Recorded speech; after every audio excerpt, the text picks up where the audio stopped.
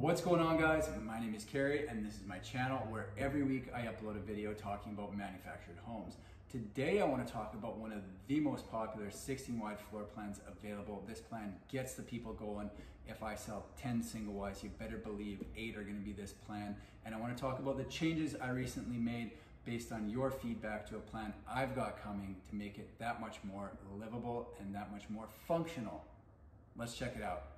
This has by far been our most popular single wide floor plan for a bunch of years, and I'm gonna go through the reasons why I think that is. People love how open this floor plan is. So there's a bedroom at either end, which means the middle is gonna be wide open with very little hallway. Because of the open concept, natural light makes its way all the way through this home. So there's no hallways, no dark spaces, there's lots of windows and the light can flood all the way through the home. But I take it a step further, I've put a bunch of pot lights in this home because when it gets dark, I want this place to be well lit. The plan works really well in manufactured home parks.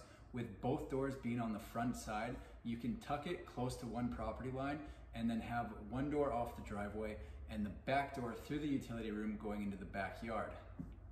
A second bathroom is a must in a house this size. So if you've got space for it, you need to add it. And in this one, we've got an ensuite off the master bedroom, which works really well. So if you've got guests, they've got their own bathroom, you've got their own bathroom. You're living together, but you're separate. It's the best of both worlds. Now, based on the feedback I got from the first two of that floor plan that I posted on my channel, I've made changes to the third and fourth that are coming. The first one is gonna go to Sandy Beach in Vernon.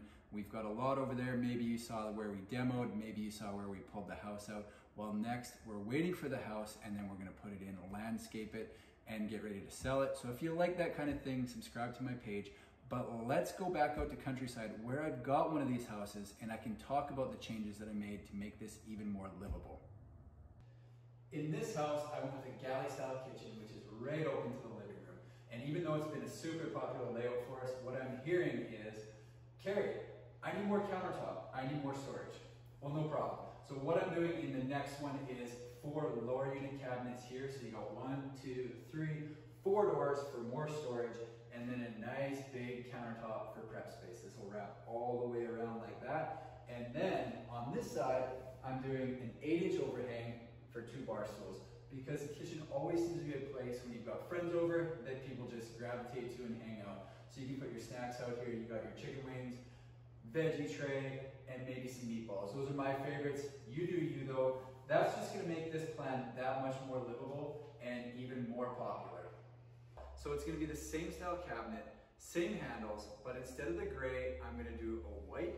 And for the backsplash, uh, you know I love the full tile backsplash. That's staying, they do such an amazing job with that, but I'm gonna do a different color. So I'm gonna post a picture of one of the tile samples here because me trying to describe the color is just not gonna go well.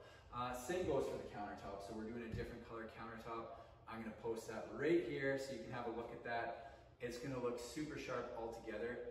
The other change I've made, instead of the white, I'm doing stainless steel appliances. So that's gonna bring this whole kitchen together and I just think it's gonna look absolutely amazing. The final change I'm gonna make to this house is, you guessed it, a pantry. Because I've got my ear to the ground, I watch other videos and I read the comments and the number one thing I hear people say is, where's the pantry? Where's the pantry? Where's the pantry? Well, message received. We've got a pantry coming in this one. It's gonna be two doors, lots of space for your canned goods, your popcorn, your five-year-old box of lime jello. So what we're gonna end up with in this is we've taken our most popular floor plan, we're listening, we're making the changes people wanna see, then we're gonna put it onto a beautiful lot down by Okanagan Lake in Vernon, BC. We're gonna landscape it. It's gonna be here middle of October, ready to move in by the start of November, and I'm gonna be filming and documenting the entire way. So if you like that kind of thing, subscribe to my page. That's all I've got for this week. Thanks for watching. We'll see you in the next one.